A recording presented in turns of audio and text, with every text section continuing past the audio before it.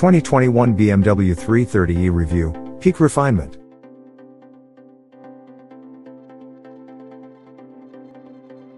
But before we start, please support us by pressing the like and subscribe buttons, so that we can continue to provide information about car and motorcycle news. Also turn on the bell button to get the latest updates. Your support means a lot to us. Thank you. The 2021 BMW 330e is an aberration.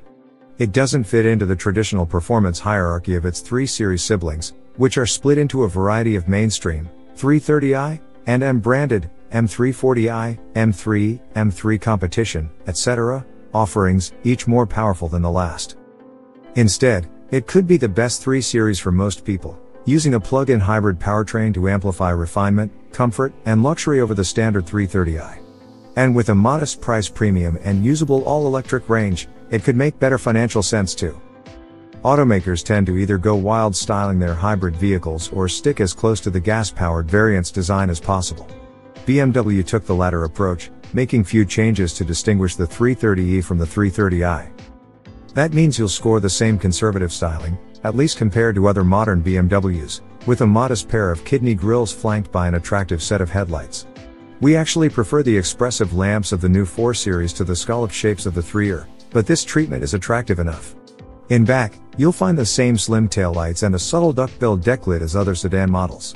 The profile is mostly free of overzealous design, aside from the aggressive kick-up of the lower character line as it extends rearward from the front fender.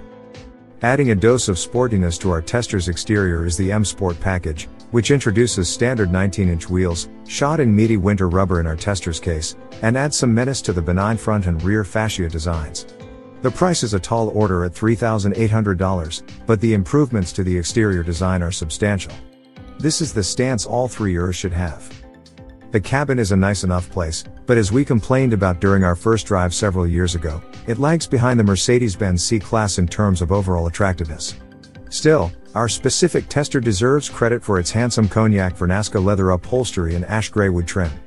Subtle touches of aluminum add brightness, while the switchgear features the same premium look and feel we expect of a German luxury sedan. Softening the blow of the M Sport Pack's price tag are its standard sport seats, which are ample and supportive in the way all good sport seats are. We'd happily spend hours and hours, be it on a twisting road or on a highway slog, in these well bolstered, 14 way, heated and cooled chairs. We're less keen on the second row bench, of course, but this isn't a BMW specific problem. The measurements for the 330e match those of the 330i, with 35.2 inches of legroom, that ties the Mercedes-Benz C-Class and best the Acura TLX, 34.9, though it is slightly down on the Audi A4, 35.7. But put another way, nothing in this class is roomy. Where the 330e excels beyond its gas-only rivals is in regard to refinement. This car is exceptionally quiet under electric power, and the boost from the 107 horsepower electric motor is so substantial that we rarely had to rely on the gas power plant. It'd be on, we watched the power distribution screen intently during testing, but the 2.0 liter mill just didn't need many revs to keep us moving. This is bar none the quietest compact luxury sedan around, and it's thanks to the plug-in hybrid powertrain. Despite the 19-inch wheels and the winter rubber, the 330e is a comfortable thing on the road, too. The standard adaptive dampers mitigate the harshest surfaces and the overall suspension tuning is such that crossing rough sections of road rarely flummox this BMW. In addition to the limited engine noise, there's little wind noise or tire roar either. Really, the 330e is just a very good place to spend some time.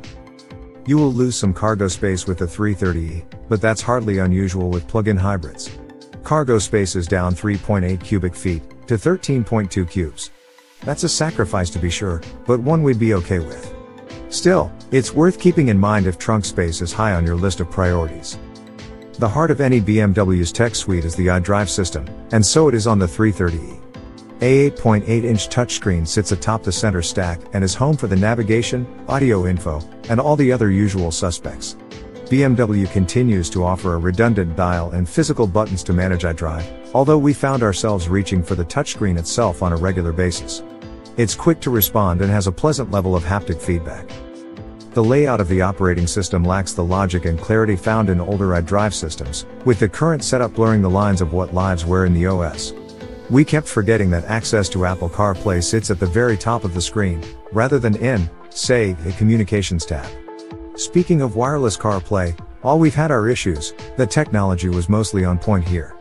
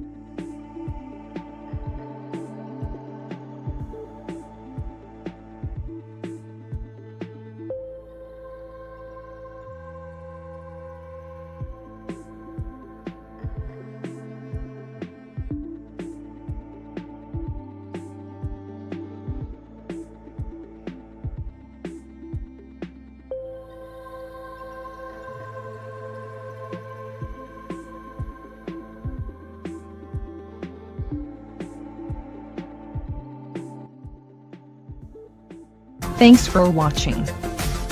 Drop a like, leave a comment, and don't forget to subscribe to watch more videos like this.